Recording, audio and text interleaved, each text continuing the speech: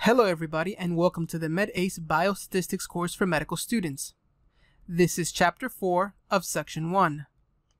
In this chapter, we are going to talk about samples, populations, and randomization.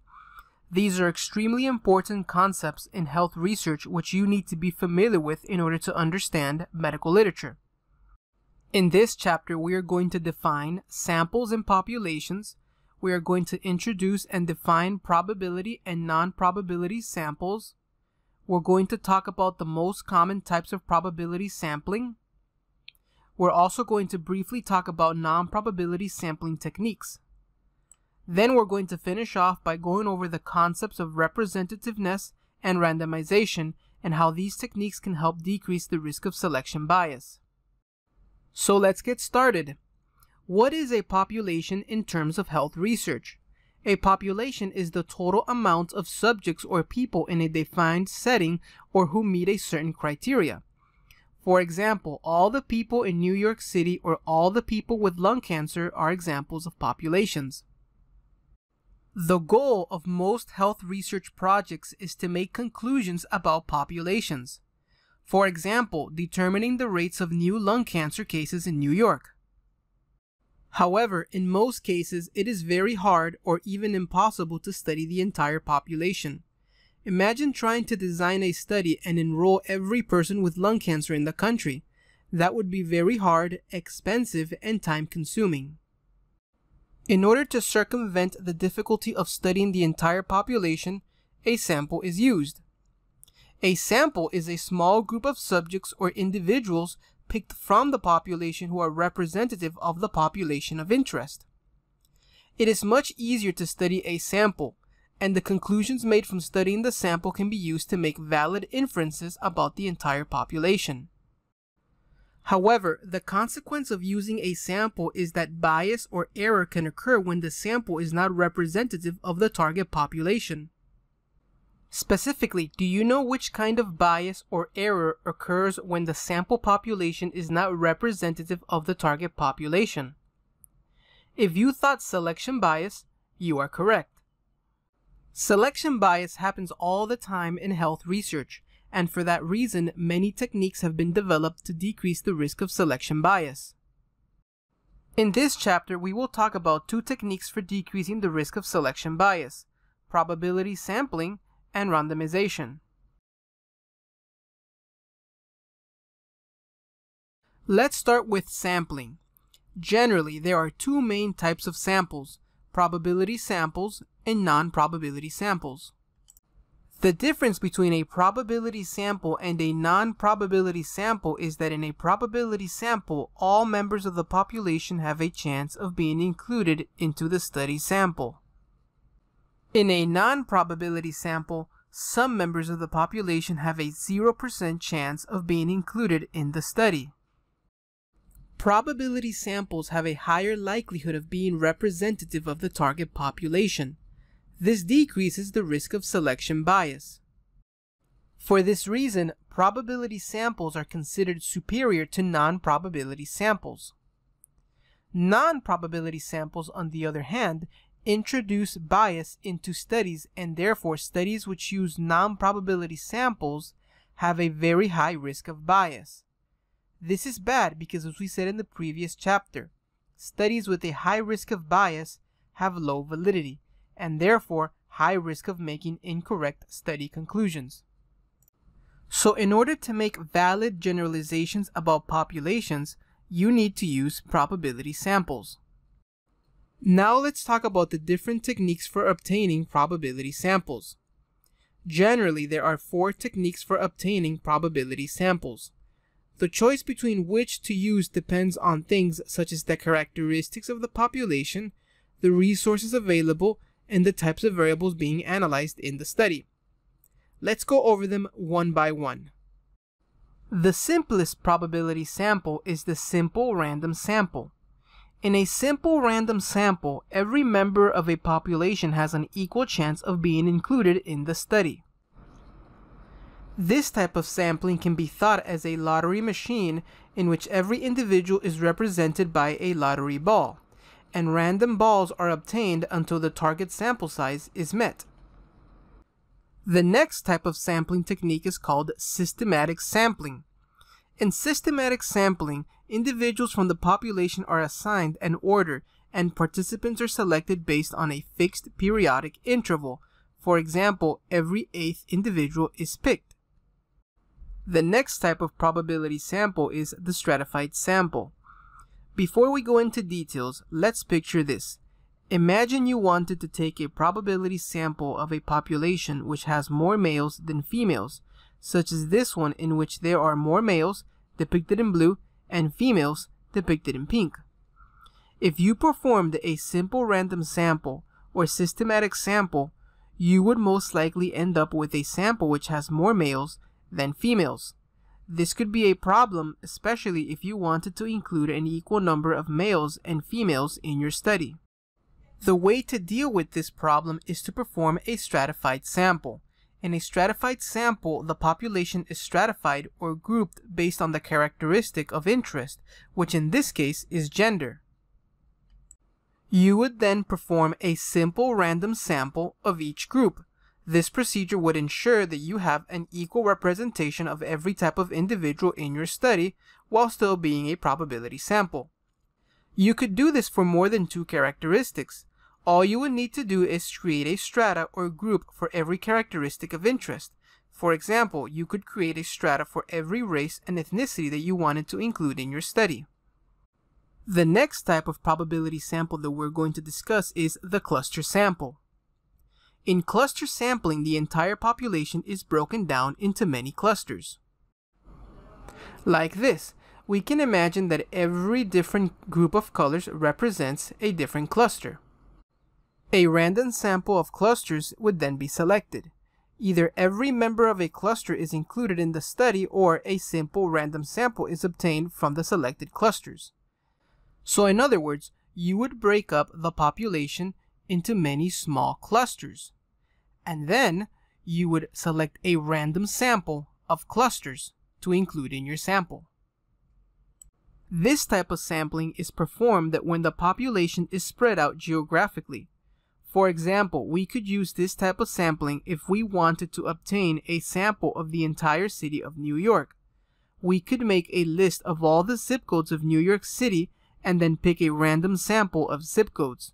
We could then enroll all the subjects from those randomly selected zip codes into the study. Now let's look at an example. Researchers are interested in studying the characteristics of people who visit the emergency room in a large city. They decide to use a sampling technique in which every 10th patient that is registered into the patient log is selected to be included in the study. Is the sample obtained a probability sample or non-probability sample? Well, based on the information given to us, the researchers appear to be using a systematic sampling technique. As we said before, systematic sampling is a type of probability sample. Next question. Is this sampling technique associated with a high risk of bias? Well, given that the researchers are using a probability sample, every patient that comes into the ER has a chance of being included in the study. Therefore, the sample generated is likely to be highly representative of the target population. And as we said before, high representativeness prevents selection bias so this sampling technique is associated with a low risk of bias. Next example. Researchers are interested in studying the characteristics of people who visit the emergency room in a large city. They decide to set up a stand outside of the emergency room with signs that say, come participate in our study. They then wait for people to volunteer to enroll in the study. Is the sample obtained a probability sample or non-probability sample? Based on the information given, it seems that the researchers are depending on patients who are willing to volunteer to enter the study. While this is likely an easier technique than the one employed by the first group of researchers, it is not a probability sample. This is because not every patient has a probability of being enrolled in the study. Only those who are willing to enroll have a probability of entering the study. Therefore, this is a non-probability sample. Next question. Is this sampling technique associated with a high risk of bias? Well, given that not every person has a chance of being included in the study, suggests that it is likely that the sample obtained is not representative of the target population. Therefore, there is high risk of selection bias. So why is non-probability sampling bad for making generalizations about populations? The reason for this is because when you obtain a non-probability sample, you are obtaining a sample which may not be representative of your target population. Individuals with certain important characteristics may be overrepresented or underrepresented in the sample. For example, let's assume you want to make generalizations about the target population which includes individuals of many colors. However, your sample only includes individuals with different shades of red. Any conclusions you make from this sample will only apply to the population of red individuals, and not the entire target population which includes individuals of various other colors such as yellow, blue, green, or gray. This type of error is called the selection bias. So the problem is that when you obtain a non-probability sample, you risk obtaining a sample like the one in this example, in which your individuals are red and not representative of all the other colors such as yellow, blue, green, gray, etc. So now let's look at some examples of non-probability sampling techniques. Quota sampling is a type of sampling method in which investigators are told to interview a certain number of individuals or quota. The individuals must have certain characteristics such as age, gender, race, nationality, etc. However, once these characteristics are met, the investigators are free to select the individuals as they please. Another type of non-probability sampling technique is called convenience sampling. In convenience sampling, investigators only select individuals which are easy or convenient to include in the study. This is similar to what the researchers in example 2 did. So far, we have discussed the reasons why in order to obtain a sample with high representativeness, we need to use a probability sampling technique. However, that is not the end of the story you also need to obtain a large enough sample to accommodate for all the variability in the population. Let's go back to our previous example with the colorful individuals. Let's say you wanted to obtain a random sample which is representative of the population. That is, you want a sample which is representative of all the different colors in the population. Let's assume you pick a simple random sample of 4 for your sample. That is, 4 individuals. You can imagine that if you do this, you will end up with a sample that is not representative of the target population despite using a good sampling technique. This is because a sample of 4 is too little to take into account all the different types of individuals in the population. In the graphic I have shown there are at least 15 different colors of many shades. The concept is the same when it comes to research. If the sample size is too small, it will likely not be representative of the target population. So in summary, if you want the highest possibility of having a sample which is representative of the target population, you need to both use a probability sampling technique and include a large enough sample size. Okay, so so far we have talked about probability sampling and the concept of representativeness and how they help reduce the risk of selection bias. There is another type of random sampling technique which is used in randomized controlled trials, and is also used to minimize the risk of selection bias in these types of studies. We have not yet talked about randomized controlled trials, but I want to introduce you to this concept now because it is related to random sampling. We will revisit this in our chapter on randomized controlled trials in section 3. In randomized controlled trials, random sampling is used to assign study participants to exposure and outcome groups. This is known as randomization.